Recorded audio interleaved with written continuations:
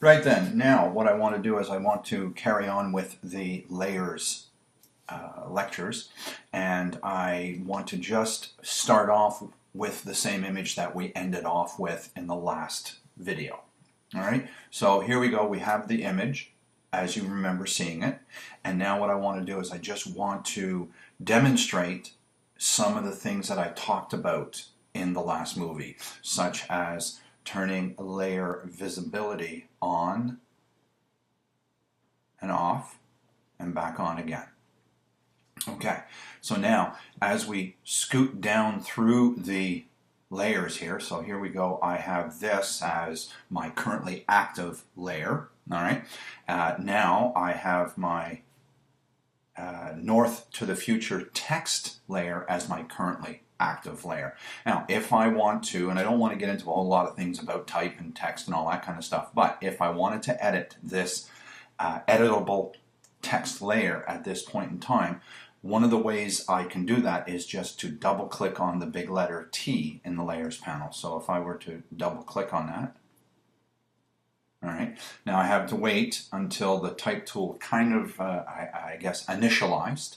All right, so now that's why it took a couple of clicks and all that kind of stuff. Notice my cursor outside of the text area is the move tool, although it is the type or text tool in the tool panel. When I get my cursor close to the text, my cursor changes to an I-beam. And if I wanted to now, I could actually either hit delete or click and add a word, take out a letter, and all that kind of stuff. Up across the top, we can see the font that I'm using the family that I'm using, um, the font size, what kind of anti-aliasing, the alignment, the color, and all that kind of fun stuff. All right, so what I'm going to do is I'm going to get out of that just to get out of that.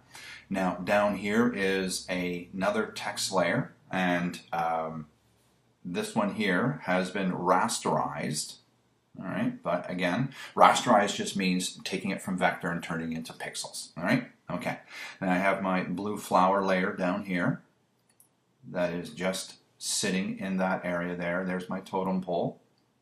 All right, now as I scroll down a little bit more, you'll see here is my statue guy.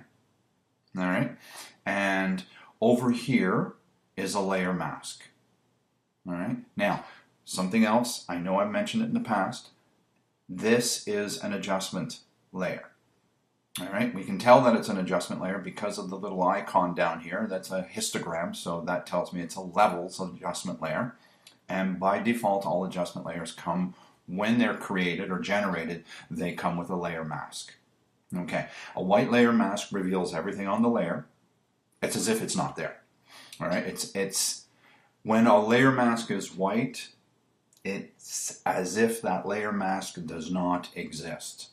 But as soon as we have some black stuff on here, now we're starting to hide some of the stuff that's on the layer. So you're looking at this image here and you're saying, well, Johnny, you know, the, the, the object here is the statue and this looks identical to the statue. So what is it you're hiding? Because the rest of it's just transparent stuff. I'll show you what I'm hiding. I don't know if I, I mentioned this, but there was a little bit of a fringing thing going on around this guy, and it was just the anti-aliasing soft transitional edge that was picked up from its background. A little bit of a line around him. So I didn't like that. So what I did was I loaded this layer as an active selection, and then I contracted by going under the select and then modify and then there was contract and I contracted it by one pixel I believe and then I clicked on the add layer mask icon and that created this layer mask contracted just a little bit to hide that little fringing thing. All right, if I want to temporarily disable this, all I have to do is hold down the shift key and click on this there you go. Do you see that little line? That little line was bothering me. So I figured if I was to load the statue as an active selection and then contract it and then, you know, add the layer mask, I would get rid of that. And yes, that's a true statement. I did get rid of that. All right. Now, as we come down a little bit further here, again, I'm going to just talk quickly about the uh, levels adjustment layer. And one of the things that goes on with adjustment layers is it will affect the layer below and every other layer below as well. If I had just applied a, a regular levels adjustment by going under image, adjustments, levels, when I had this layer, the cruise ship layer, as the active component in the layers panel, then the levels adjustment would have only affected this guy here. Okay, but since I used an adjustment layer, which allows me to always go back and make an adjustment, nothing is permanent. All right, uh, that's why I wanted to use the adjustment layer just in case. All right, I wanted to uh, darken a little bit more or lighten a little bit more or whatever. All right, um, but I didn't want to darken the Sitka Alaska layer, so I had to do something known as clipping, and you can tell that the layer's been clipped by the little downward arrow here. So we'll talk a little bit more about that uh, in a later video. All right, just to let you know or show you, I can turn the layer visibility off and then I can turn it on. And it's not a whole lot of, you know, huge difference, but it's enough to make a difference. All right. And when you're editing your images, you don't necessarily need to make six or seven really strong adjustments to get an overall end result. A lot of times, six or seven small adjustments make a better image. All right, there we go. So now I'm just going to close this guy off. All right, and you can see that I have this little asterisk here that tells me that I've made a change or I've changed something in my document since I last opened it. And I'm going to be asked when I close if I want to update or save and all that stuff, and I'm going to choose not to. So I'm going to close this guy off by going File, Close. Here's that dialog box that says Save changes to this before. No. And I'm just going to close that off. Now, we're going to be getting the next image is going to show up spiral. There we go. And I want to talk quickly about layers and such. Okay. Now, before I do this, let me go and get this other image that I prepared, all right, that deals with talking about layers, all right. Now, I think the easiest way for a lot of us to really start to understand layering, all right, uh, we have to go back to our elementary school days when um, our teachers used, before digital, our teachers used overhead projection systems. All right, so I'm going to uh, uh, go back to the days when I was in school and my teacher would use the overhead projection system similar to these. Right, and then the teacher would lay down something on a clear mylar, and whatever was here would get projected through this onto the wall so everybody could see it. All right. In this case, I'm going to just revisit my geography class where, as an example, the teacher would put down a clear mylar with a dark outline of the country Canada, as an example, with little dark lines indicating where the separate provinces were. All right.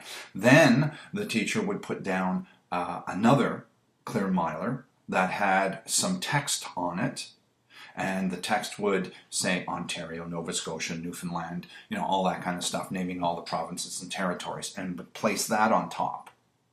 And then the next would be, say, red dots that indicated uh, uh, cities in the different provinces that had certain population.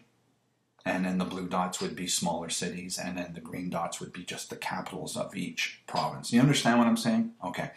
So to get away from that and come over to this thing here, because this is the image that we're going to be using. You saw me pop this up quickly a second ago, where I've got a background layer and then in order to make that other image, all right, I had a confetti layer sitting here. And then underneath that, I had a small balloon layer. Uh, on, on top, I mean, on top of that, on top of that, I had the large balloon layer. And then on top of that, in the stacking order, I had the happy birthday layer. So I'm just trying to show you that the box to the far left is the topmost layer. Then underneath that, is the large balloon layer. And uh, all that kind of fun stuff. All right, so this is kind of layers. And if we were to start off doing stuff through this, if this was semi-transparent, I could put that down first. And then I'd put the confetti layer down. Then I'd put the small balloons because they were, you know, behind the large balloons for depth perception. Then I put the large balloons down and I put the type layer on top at the end. Uh, depending on how I wanted my confetti to show up, I could take the confetti from being the second layer and put that on the very top layer, and then it would look like the confetti is on top of all of the. And I'll show you how I did that or how that's possible uh, in the next movie. All right, so now that I've gone and dissected this document to some extent, what I'm going to do is I'm going to close that off and I want to show you the project that we're going to create. All right, so I'm going to come down here and I'm going to bring up this one here called Spiral. I've called it Spiral. In the handout, I've called it Celebration Image and whatever. All right, and I just wanted to show you this and what I used to create this. As uh, you're probably learning at this point in time, there's a dozen ways that people can approach these projects.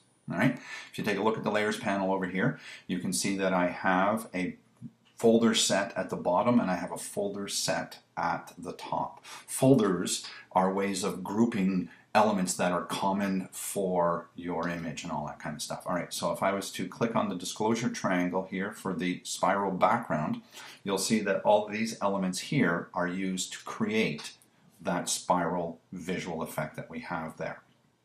So that's the reason why I grouped them all inside there. Then what I did was I added a bluish fill layer and you can see that there's a little bit of a difference all right? I wanted to lighten things up a little bit so that's what I chose to do. So I have this bluish layer sitting on top of that.